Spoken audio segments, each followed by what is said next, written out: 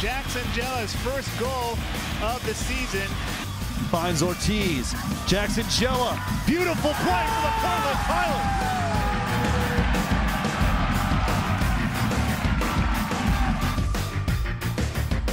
Forty-five for the Portland Pilots. Oh my goodness! I haven't seen anything like that before. Jackson Jellah. He didn't even need to see the net to put that one in. Unbelievable start to the season for Jackson Jellah.